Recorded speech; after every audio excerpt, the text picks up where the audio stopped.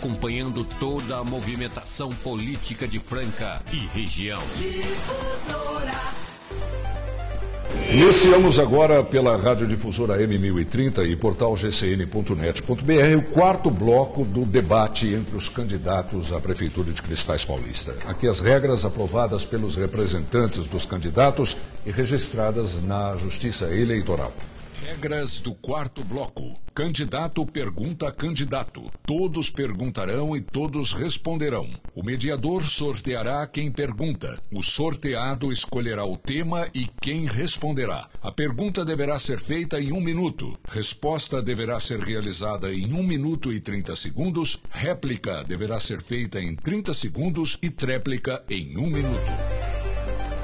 Olha, a regra básica: todos deverão ser perguntados, nenhum poderá ser perguntado mais de uma vez. Eu vou sortear então quem fará a primeira pergunta. A primeira pergunta é, será feita por Catiúcia Mendes.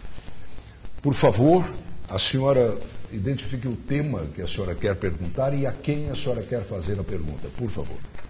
É, eu vou perguntar sobre saúde para o Miguel. Sim. Pois não, candidata. A senhora tem um minuto para fazer a pergunta. Candidato, as propostas contidas no plano de governo 2012 que o senhor apresentou à população para a melhoria do serviço de saúde foram fantasiosas. Na campanha de 2012, o senhor prometeu à população que ia implantar na cidade de Cristais Paulista o seguinte, um laboratório de análises clínicas, não cumpriu. Prometeu ampliar o horário de atendimento até às 10. Até começou, mas não cumpriu.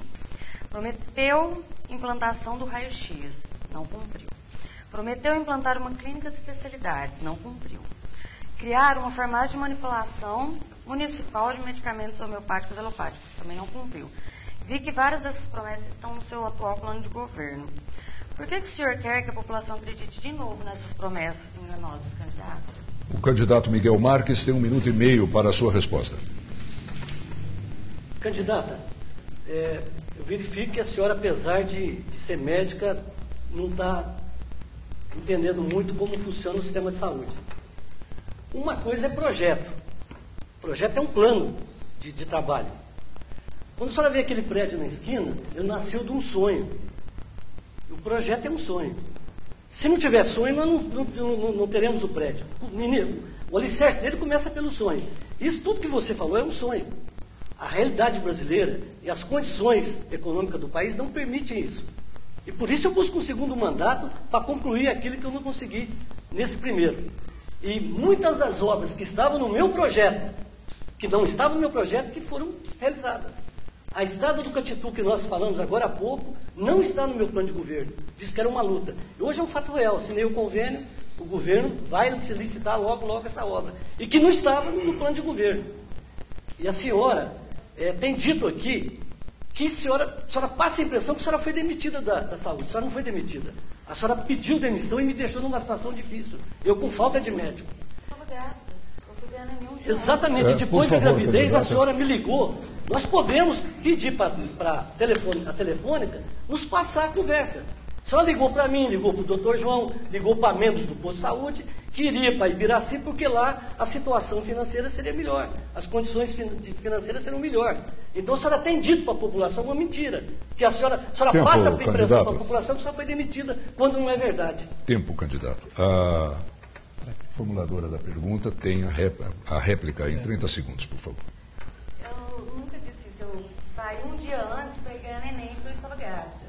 O E eu não liguei, eu não liguei pro, pro senhor, candidato. Eu fui pessoalmente dizer, você disse que queria que eu voltasse, eu falei que ia voltar, pretendia voltar dentro de dois meses, porque eu acho, não, eu tenho certeza que eu colaboro muito com a população. E não voltei porque eu saí candidata. Aí não fizeram mais o convite, não me quiseram lá dentro. Aliás, até entrar no posto de saúde virou, virou um problema para mim. Agora você fica falando muito que eu sou candidata de Biraci, você mora em Cristais há três anos e meio, ninguém te Tempo, na rua. candidata. Tempo. O senhor Miguel Marques tem um minuto para a réplica. Não, eu não moro há três anos e meio, eu moro há 62 anos. E eu fui prefeito, não fui para ficar na rua, fui prefeito para ficar no gabinete, no palácio, em Brasília, atrás de deputado. Essa é, essa é a obrigação do prefeito. O que eu quero dizer é que você tem passado para a sua campanha, os seus cabos eleitorais, que você foi demitido, você está se fazendo de vítima. Você retornou da gravidez e disse para mim no telefone que iria para Ibiraci porque lá tinha uma proposta melhor financeiramente falando. Agora, se você gosta tanto de cristais, você poderia ter aberto mão dessa melhora financeira e ficado no posto de saúde. Ok. É, nós vamos agora sortear uh, o segundo perguntador do bloco, não é? Vamos lá. Quem pergunta é Miguel Marques. O senhor, por favor, identifique o tema e a quem perguntará. Saúde, doutora Catiúcia. Não. Bom, tudo bem, perfeito, perfeito, perfeito. Perfeito. Candidato, os municípios vêm passando por um processo de judicialização da saúde. Sabendo do princípio constitucional da independência dos poderes, qual a sua opinião sobre o assunto? Ó, essa judicialização da saúde acontece por quê? Pela falta de. É. de... É, candidata, eu, perdão, eu tenho que corrigir. Eu tenho que corrigir. O candidato Miguel Marques só poderá perguntar ao Edson, porque senão o Edson ficará sem ter a quem responder a ser perguntado. Desculpe. Então, o candidato Miguel pergunta ao candidato Edson Silva. Pode ler a mesma pergunta? À vontade, à vontade. O senhor Essa identifica pergunta, o tema o e. Por favor, repita, candidato. Repetir? Os municípios vêm passando por um processo de judicialização da saúde. Sabendo o princípio constitucional da independência dos poderes, qual a sua opinião sobre o assunto? Sinceramente, eu ainda não tenho conhecimento sobre essa questão, né? E infelizmente eu não vou poder, poder tecer comentários e não vou ficar enrolando aqui fazendo isso. É melhor a gente ter humildade e admitir que ainda precisa melhorar os conhecimentos em algumas áreas. A gente não detém o conhecimento sobre tudo, né? Pois não. O senhor quer fazer réplica, candidato? Miguel?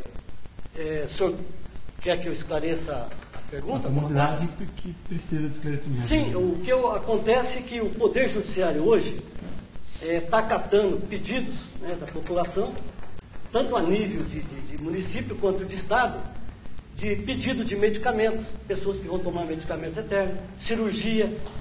E a- o Poder Judiciário toma uma decisão de, de dizer para o município comprar tal medicamento, fornecer tal medicamento, ou fazer tal cirurgia, e muitas vezes o município não tem condições financeiras de arcar com essa despesa. Mas vem uma ordem judicial e você é Tempo, obrigado candidato. a cumprir. Isso está gerando uma situação muito é, é, constrangedora em relação aos municípios Tempo, diante da crise. Tempo. Edson. Bom, vou fazer um comentário com a resposta que eu faria antes para utilizar o meu tempo também. Como prefeito, acompanharei tudo de perto, como já disse. A saúde é um lugar onde é preciso um atendimento humanizado, o diálogo franco e sadio com os funcionários. Torna o ambiente de trabalho agradável e dá condições para receber pacientes com amor e dedicação. Para tudo isso é imprescindível ter materiais de trabalho, ter condições de trabalho. Em Cristais Paulista foram construídas pela atual administração mais de 30 lombadas, contrariando a lei, né? o prefeito contrariando a lei.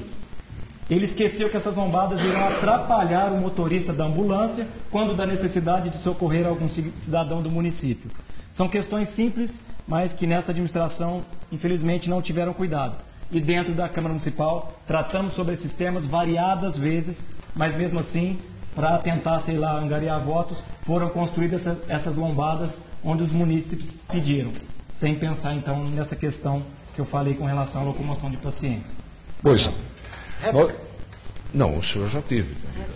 É, na verdade, agora vamos para o último candidato, o Edson Silva, vai perguntar à candidata Catilce. Então, o senhor, por favor, o Eu tema. saúde novamente. Pois não, saúde novamente e a pergunta, por favor. Só um instante. O tempo está correndo, viu, candidato? É.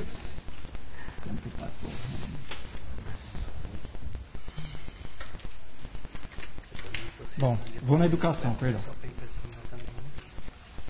Sabemos que os problemas educacionais ultra- ultrapassam as barreiras da escola. A drogadição, como eu já disse, o desemprego, a falta de estrutura familiar são alguns problemas enfrentados pela sociedade atual, pois a escola sozinha não consegue formar cidadãos críticos, participativos e conscientes do seu dever social. Essa situação extrapola os problemas numéricos com relação aos índices das provas estaduais e federais que medem a qualidade do ensino nos municípios, que infelizmente, em nosso caso, apresentam decadência. Como você pretende alterar este quadro em, no- em nossa querida Cristais Paulista? A senhora tem um minuto e meio para a resposta. É, eu vejo assim que tem várias coisas né, para aumentar esse índice em cristais. Um é a valorização dos professores, que foi prometido para eles aí uma, o bônus do Fundeb, mas ao longo desses quatro anos, por informações que tivemos deles, é só no primeiro ano que foi pago. Isso aí desestimula né, os profissionais a, a, a atuarem, a exercerem esse trabalho com. Então, isso daí tem que ser importante no nosso, no nosso mandato, tem que ser uma coisa que a gente tem que levar em consideração, a importância dos professores na educação. Outra coisa também é aquela é, capacitação constante né, dos professores, levar eles a cursos, a, a cursos de capacitação, para que eles possam oferecer sempre o melhor para os alunos. E tentar atrair os alunos para dentro da sala de aula, assim como você disse, através de esporte também, através de, de movimentos culturais, através de atrativos que possam trazer para a escola, para que o aluno tenha prazer em estar desempenhando aquilo. Cursinhos também pré-vestibulares é importante, que estava sendo dado aí por uma por uma escola anteriormente, mas que a vice-diretora foi, foi exonerada, mas que foi uma coisa que funcionou muito para a cidade, foi muito importante. É, acho que tudo isso vai ajudar muito, vai contribuir muito para aumentar os níveis de educação na nossa cidade. Pois não. O senhor tem agora 30 segundos para a réplica. O papel da escola, como eu disse, deve ultrapassar as barreiras do muro que a cerca. Sei o quanto é difícil, sou professor, a prática é realmente complicada. Porém, Precisamos planejar para que essa mudança aconteça, mesmo que de forma gradativa.